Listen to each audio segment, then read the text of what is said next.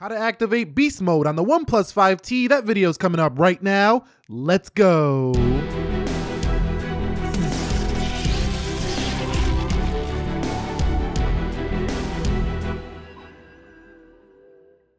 So, what is up, guys? Nick here, helping you to master your technology, and welcome to how to activate beast mode on the OnePlus 5T. Now, if you have a OnePlus 5 or a 3T, you're gonna be able to do these tips as well, but it's flaming hot right now. Let's get into the tips. Now, some people are gonna say right out the bat, Snapdragon 835, 8 gigs of RAM, 6 gigs of RAM. That phone's already a beast. Why do we need to do this stuff? Well, you don't need to do it, but you can do it if you want, and that's why this video exists. Let's get on to the first tip. Okay, so the first tip is we're gonna go ahead and tweak the animations for our device. Now, if you're a seasoned Android user, a veteran user, longtime user, you might already have this enabled on your OnePlus. So we're gonna go into settings, scroll down until you get to about phone, and go down to your build number and tap on this repeatedly about seven times, and you should enable your developer options. Once you get that done, scroll down until you locate your animation speed. So we're gonna go down here and we're going to go to window animation scale, transition animation scale, and animator duration scale. Now, the one that really shows the visual change is transition. So what I like to do is if I'm going to go beast mode on the phone, I'm going to put this thing on point 0.5x or off. Now off is basically 0x. I recommend it to have it off if you guys want to have on all three of these if you want to have the absolute fastest experience here for the OnePlus 5T. So that's the first tip on the list is to go ahead and disable those animations. And you can see right here, look at that. Now it's just flying through basically everything. Now, when you first get this out of the box, it has like this little flying animation, but there's absolutely no animation here now on the 5T. Okay, so some people might not like my previous tip on the off animation because it looks a little choppy sometimes. It doesn't have that pleasing visual look. So this one is more of an alternative tip to the other beast mode tip. We're gonna go back into settings and we're gonna put our animations at 0.5 for this one. So if you did like the speed you were getting with off, you could leave it there and just ignore this tip right here. But we're gonna put it at 0.5 for this one. And then we're gonna download this application called Nova Launcher here. Now, again, seasoned Android users know what the hell this is. If we go into Nova Launcher here, we're gonna go ahead and go into the settings. So hold down on the home screen, go into settings, make this your default, first of all, make Nova your default launcher. Then we're gonna go back into settings here. We're gonna go to look and feel.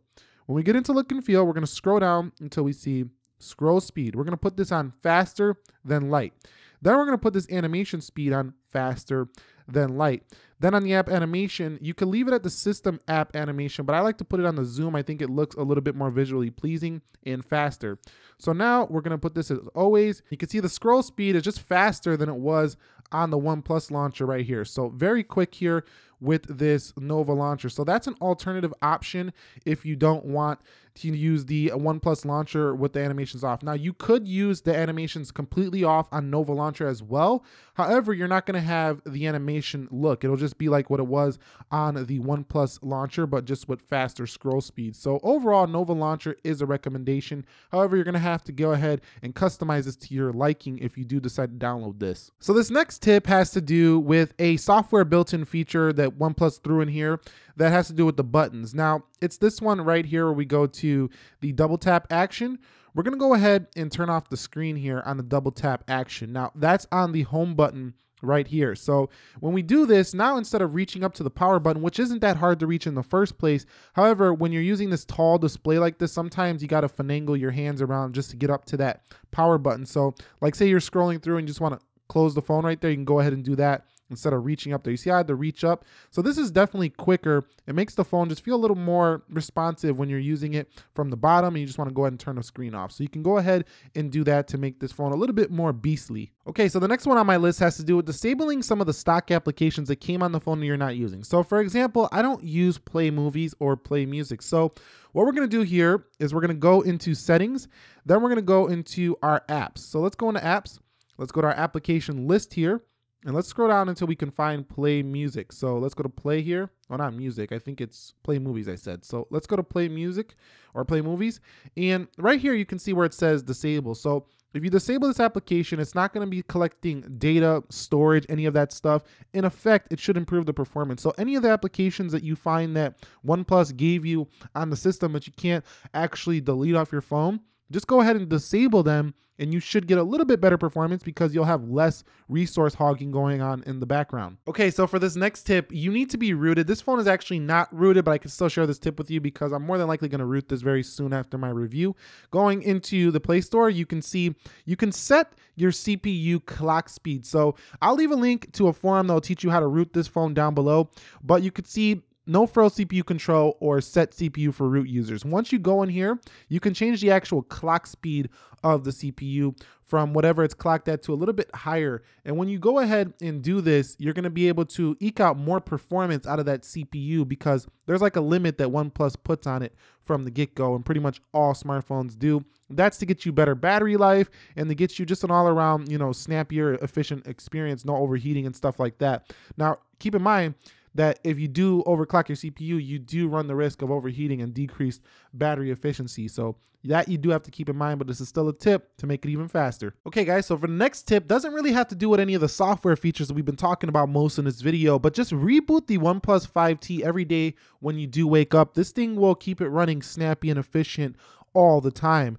And I don't really see my Android phone slowing down that much when I do do this. So go ahead and give it a reboot every single day. So have you been enjoying that flaming wallpaper on the OnePlus 5T this whole video? Well, we're going to disable it right now. Don't worry. I'll leave it linked down below if you guys do want to download it. I just don't recommend you run wallpapers like this for performance. It's a resource hog, a battery hog, and it also will slow your phone down just slightly. Probably won't see too much of a slowdown with the 5T just due to its enormous amount of power.